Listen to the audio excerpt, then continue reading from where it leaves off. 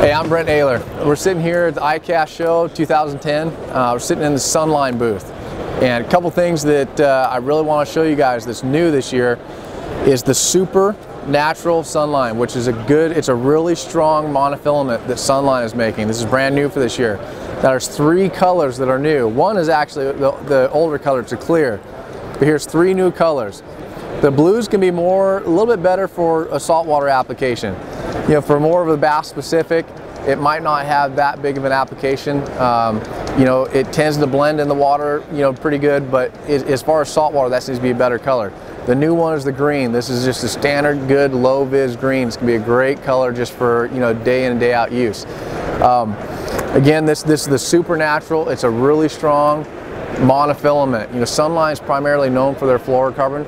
The monofilament is very good. It's very manageable. It's easy. There's, there's no memory on it. It's just a great all-around line.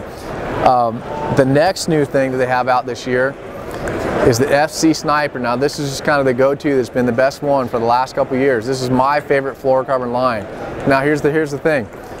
Every year it's gone from 100 meters. That was the biggest spool for a long time to get in Sniper. Then it went to 220. Now you can buy it in a 660 meter spool. Now this is a great spool. This is the spool that I use day in and day out for the last 10 years. I mean, this is the one that, that we've been getting kind of behind the scenes. You know, this is the one that wasn't available to the public.